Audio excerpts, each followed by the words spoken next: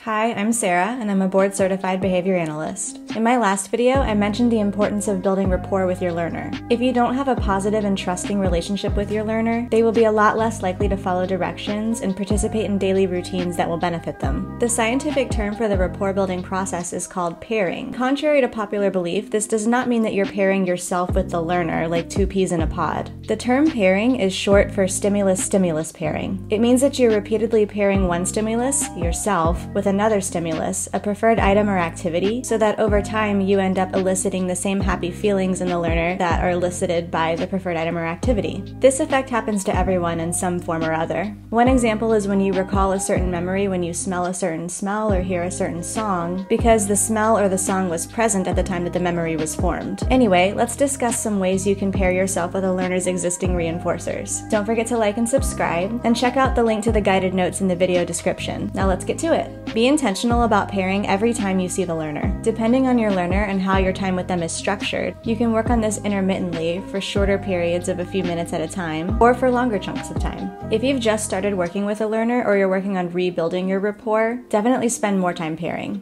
During the pairing process, the learner should pick the activity. Make sure to present the learner's favorite items, activities, and snacks. The purpose of this time is for you to become the giver of all good things, like Santa Claus or Oprah. Consider going to the learner's favorite places, such as their favorite restaurant. You want to be paired with the learner's most favorite thing so that you become their new favorite thing. Stay nearby and engage during the process. It'll be way harder to become paired with reinforcement if you're sitting far away from the learner and scrolling through your phone while the learner is engaging with their favorite items and activities. Instead, you should try to add to the fun. Position yourself at the learner's eye level and at a close but comfortable distance. But if the learner prefers to engage in these activities alone, don't force them to involve you. If this is the case, try just narrating and praising the learner's actions, or playing parallel with them. Say your learner is playing with a toy train. Narrating would sound like this Wow, you're pushing the train around the track. Now it's gonna go through the tunnel. You're doing a great job playing. If your learner does like when you play with them, try to find creative ways to make the activity even more fun. My go to is to put whatever toy we're playing with on my head and pretend it's a hat, and then pretend to get frustrated when it falls off. Most of my clients find it amusing, and even when they don't, I still just associated myself with a preferred item. And while you're pairing, limit demands. Demands can include obvious things like asking the learner to go clean their room, but can also be more subtle, like asking the learner to clean up their toys between activities or telling the learner to play in a certain way. Questions can also be considered demands because they imply that the learner has to respond. Instead, remember, narrate and praise like I showed you before.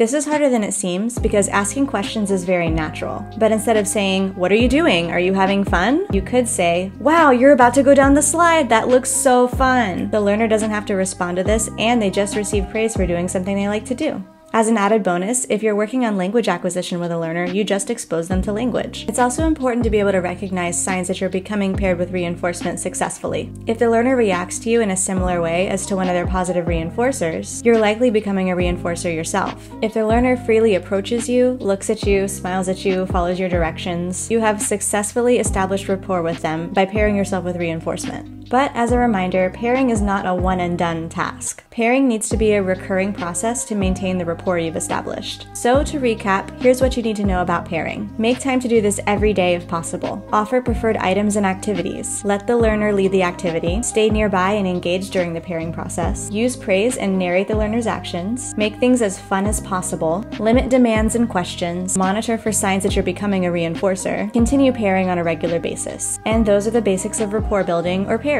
Thanks for watching.